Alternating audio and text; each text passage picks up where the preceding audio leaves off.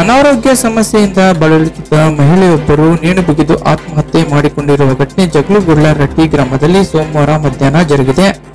ಗ್ರಾಮದ ನಲವತ್ತೆರಡು ವರ್ಷದ ಫಾತಿಮಾ ಬಿ ಮೃತ ಮಹಿಳೆಯಾಗಿದ್ದು, ಇವರು ಕೆಲವು ತಿಂಗಳಗಳಿಂದ ಅನಾರೋಗ್ಯದಿಂದ ಬಳಲುತ್ತಿದ್ದು, ಆರೋಗ್ಯ ಚೇತರಿಕೆಯಾಗದ ಹಿನ್ನೆಲೆ ಮನ್ನೊಂದು ಮನೆಯಲ್ಲಿ ನೇಣುಗೆ ಶರಣಾಗಿದ್ದಾರೆ. ಇನ್ನು ಈ ಘಟನೆ ಜಗಳೂರು ಪೊಲೀಸ್ ಠಾಣಾ ವ್ಯಾಪ್ತಿಯಲ್ಲಿ ನಡೆದಿದ್ದು ಸ್ಥಳಕ್ಕೆ ಜಗಳೂರು ಪೊಲೀಸರು ಭೇಟಿ ನೀಡಿ ಪ್ರಕರಣ ದಾಖಲಿಸಿಕೊಂಡಿದ್ದಾರೆ. ಇನ್ನು ಮೃತ ಮಹಿಳೆಯ ಕುಟುಂಬಸ್ಥರ ಆಕ್ರಂದನ ಮುಗಿಲು ಮುಟ್ಟಿದೆ.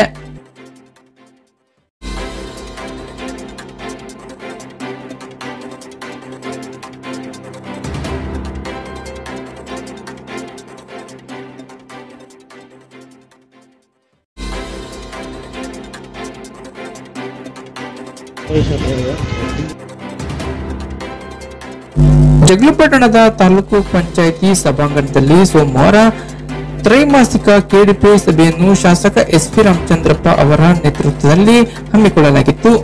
ಇದೇ ವೇಳೆ ಶಾಸಕ ಎಸ್ ಪಿ ರಾಮಚಂದ್ರಪ್ಪನವರು ಸಭೆಯನ್ನು ಉದ್ದೇಶಿಸಿ ಮಾತನಾಡಿದವರು, ನನ್ನ ಅವಧಿಯಲ್ಲಿ ಮಂಜೂರಾಗಿರುವ ಎಲ್ಲ ಇಲಾಖೆಯ ಕಾಮಗಾರಿಗಳನ್ನು ಅನುಷ್ಠಾನ ಬೇಗ ಪೂರ್ಣಗೊಳಿಸಬೇಕು ಎಂದು ಅಧಿಕಾರಿಗಳಿಗೆ ಸೂಚನೆ ನೀಡಿದರು.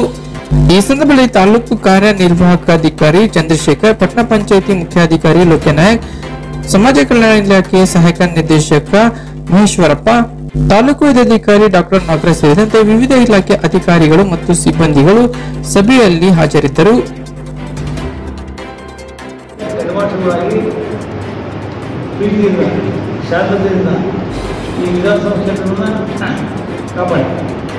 ಜವಾಬ್ದಾರಿ.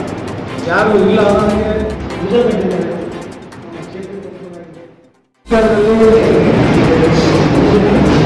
ಹದಿನೈದರಲ್ಲಿ ಅಧಿಕಾರ ಮುಂದೂ ಯಾರು ಕೇಳಲಿಲ್ಲ ಹೇಳೋದಿಲ್ಲ ಮಾಡಬೇಡಿ. ನಿಮ್ಮ ಅಧಿಕಾರ ಚಲಾಯಿಸಿರಿ ಜನರು ನೋಡ್ಕೊಂಡು ಚೆನ್ನಾಗಿ ಜನರು ಪ್ರೀತಿಯಿಂದ ಕಾಣೆ. ನಿಮ್ಮ ಕೆಲಸ ಯಾರು ಹೇಳೋದು ಯಾವ ಮಾಡಕ್ಕೆ ಬಿಡಬೇಡಿ. ಯಾರಿಗೂ ನಮ್ಮ ರೈತರಿಗೆ, ನಮ್ಮ ಕೂಲಿ ಕಾರ್ಮಿಕರಿಗೆ ಹೆಣ್ಣು ಮಕ್ಕಳಿಗೆ ಯಾವ ಕಾರಣಕ್ಕೂ ಅನ್ಯಾಯ ಮಾಡ್ತೀವಿ ಒಂದೊಂದನ್ನು ಬಿಡಬೇಡಿ ಯಾಕಂದ್ರೆ ಈಗ ಒಂದು ಪರ್ವ ಹೋಗ್ತಾ ಇರ್ತದೆ, ಬರ್ತಾ ಇರ್ತದೆ. ಈಗ ನಾವು ಹೇಳೋಣ ಈಗ ಪರೀಕ್ಷೆ ಕೊಟ್ಟು ಜೀವನ ವಸಂತಾಗಿದೆ ನೀವೇನು ಯಾರಿಗೂ ಸ್ವಲ್ಪ ಮಾಡಬೇಕಾಗಿಲ್ಲ ರಾಮಚಂದ್ರ ಅಧಿಕಾರಿಗಳಿಂದ ನಾನು ಸಂತೋಷ ಕೇಳಲ್ಲ. ಯಾರು ಒಳ್ಳೆ ಕೆಲಸ ಯಾರು ಪ್ರೀತಿಯಿಂದ ನಡ್ಕೊಂಡಿದ್ರು ಅಂಥವ್ರಿಗೆ ಕೈ ಹಿಡಿ. ಅದನ್ನು ಬಿಟ್ಟು ಯಾರ ಪರವಾಗಿ ನಾವು ನೀವು ಹೇಳಿ ಅಧಿಕಾರಿಗಳು ಅಧಿಕಾರಿಗಳು ಹೇಳಿ. ಈಗ ಯಾರು ನಿಮ್ಮ ಇದು ಇಚ್ಛೆ ಇದು ಕೊಡೋದು ಮಾಡಿದ್ರೆ ಯಾರ ಪರವಾಗಿ ನೀವು ಕ್ಯಾನ್ವಸ್ ಮಾಡೋದು ಇದು ಮಾಡೋದು ನಮ್ಮ ಸೈನ್ಯ ರಾಮಚಂದ್ರ ಯಾರು ಸಿದ್ದೇಶಿ ಅವರೆಲ್ಲ ಮಾಡಬಹುದು ನೀವು ನಿಸ್ಸಂದೇಶವಾಗಿ ಕರೆಕ್ಟಾಗಿ ನಡ್ಕೊಂಡು ಈ ಚುನಾವಣೆ ಎದುರಿಸಿ ನೀವು ಸಹಕಾರಗಳು ಶಾಂತಿ ರೀತಿಯಿಂದ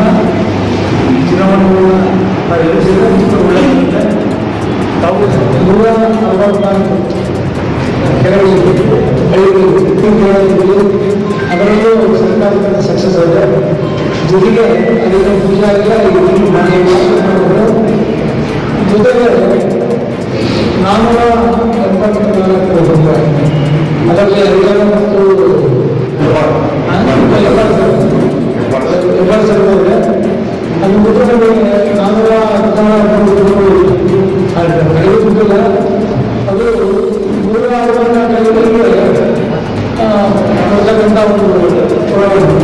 ಮತ್ತೆ ನೂರ ಅರವತ್ನಾಲ್ಕರಿಗೆ ನೀರು ಕೊಡಬೇಕು ಈ ಯೋಜನೆ ಕಾರ್ಯಕರ್ತರಿಗೆ ಕೈಯಾಗಿದ್ದು ಮನೆ ಮಾಡ್ತೀನಿ ಈ ಹಂತದಲ್ಲಿ ನನಗೆ ಬಹಳ ಖುಷಿ ನಾನು ಕೈಯಾಗಿದ್ದು ಈಗ ಮಲಕುಳಾಗ ಇವತ್ತು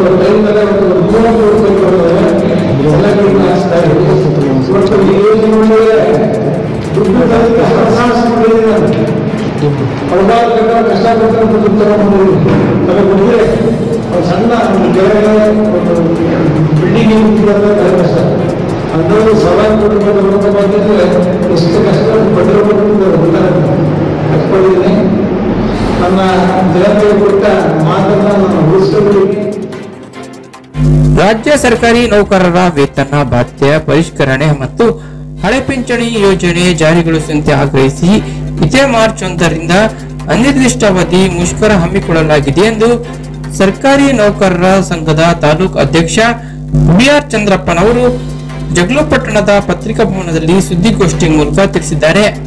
ಈ ಸಂದರ್ಭದಲ್ಲಿ ನಿವೃತ್ತ ನೌಕರರ ಸಂಘದ ಅಧ್ಯಕ್ಷ ಪಾಲಯ್ಯ ಪ್ರೌಢಶಾಲೆಯ ಮುಖ್ಯ ಶಿಕ್ಷಕರ ಸಂಘದ ಕಾರ್ಯದರ್ಶಿ ದಿದಿಗಿ ಮಂಜುನಾಥ್, ಪ್ರಾಥಮಿಕ ಶಾಲಾ ಶಿಕ್ಷಕರ ಸಂಘದ ಅಧ್ಯಕ್ಷ ಹನುಮಂತೇಶ್, ನೌಕರರ ಸಂಘದ ರಾಜ್ಯ ಪರಿಷತ್ನ ಸದಸ್ಯ ಬಣ್ಕರ್, ವೀರೇಶ್ ಗ್ರಾಮ ಲೆಕ್ಕಿಗಾರ ಸಂಘದ ದುರ್ಗೇಶ್, ಮಹಂತೇಶ್, ಉಮೇಶ್, ತಿಪ್ಪೇಸ್ವಾಮಿ ಅಂಜಿನ ನಾಯಕ್ ಸೇರಿದಂತೆ ಮತ್ತಿತರರು ಉಪಸ್ಥಿತರಿದ್ದರು.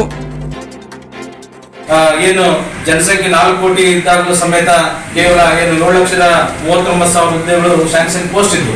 ಅವಾಗಲೂ ಸಹ ಐದು ಲಕ್ಷದ ಹುದ್ದೆಗಳು ಇಲ್ಲಿ ಕಾರ್ಯನಿರತ ಉದ್ಯೋಗಗಳು.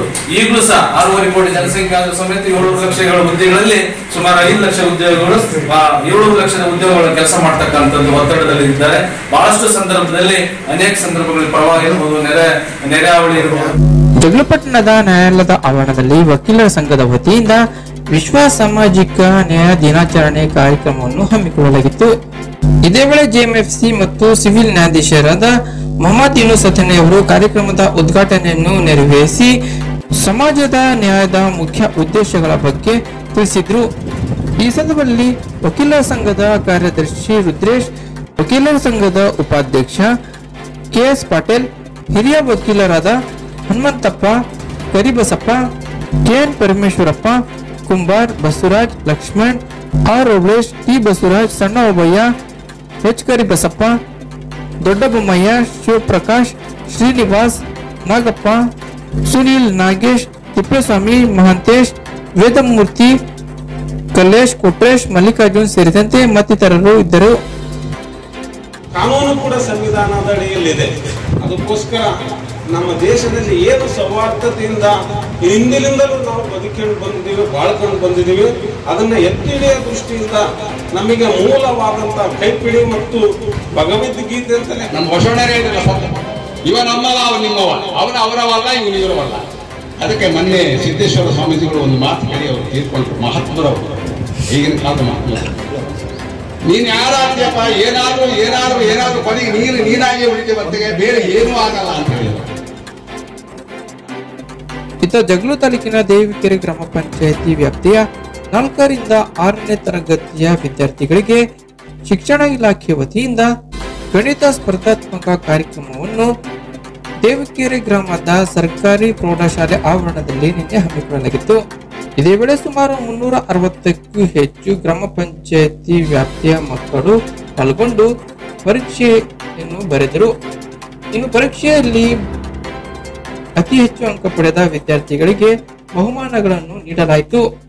ಈ ಸಂದರ್ಭದಲ್ಲಿ ಶಿಕ್ಷಕರು, ವಿದ್ಯಾರ್ಥಿಗಳು, ಗ್ರಾಮಸ್ಥರು ಮತ್ತಿತರರು ಪಾಲ್ಗೊಂಡಿದ್ದರು.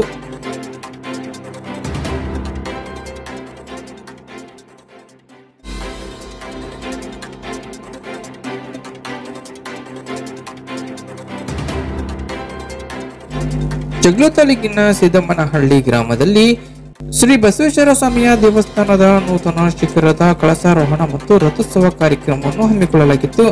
ಇನ್ನು ರಥೋತ್ಸವದ ಹಿನ್ನೆಲೆ ಕಾಂಗ್ರೆಸ್ ಮುಖಂಡ ಚಿಕ್ಕಮನಹಟ್ಟಿ ದೇವೇಂದ್ರಪ್ಪನವರು ಗ್ರಾಮಕ್ಕೆ ಆಗಮಿಸಿದಂತೆ ಆರತಿ ಬೆಳಗಿಸುವ ಮೂಲಕ ಅದ್ದೂರಿಯಾಗಿ ಸ್ವಾಗತ ಮಾಡಿಕೊಂಡರು.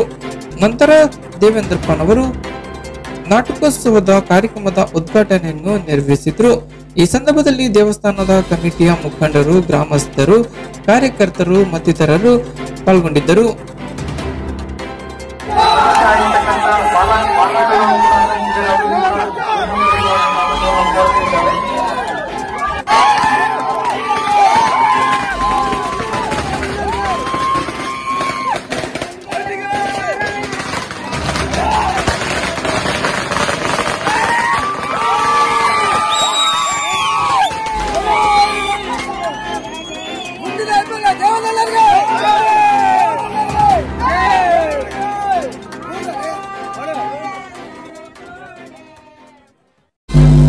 ಇದೇ ಮಾರ್ಚ್ ಒಂದರಿಂದ ರಾಜ್ಯ ಸರ್ಕಾರಿ ನೌಕರರ ವೇತನ ಭತ್ಯೆ ಪರಿಷ್ಕರಣೆ ಮತ್ತು ಪಿಂಚಣಿ ಹೆಚ್ಚಳ ಯೋಜನೆ ಜಾರಿಗೊಳಿಸುವಂತೆ ಆಗ್ರಹಿಸಿ ಅನಿರ್ದಿಷ್ಟಾವಧಿ ಮುಷ್ಕರದ ಹಿನ್ನೆಲೆ ಜಗಳಪಟ್ಟಣದ ಪತ್ರಿಕಾ ಭವನದಲ್ಲಿ ಸರ್ಕಾರಿ ನೌಕರರ ಸಂಘದ ವತಿಯಿಂದ ಪೋಸ್ಟರ್ಗಳನ್ನು ಬಿಡುಗಡೆಗೊಳಿಸಲಾಯಿತು.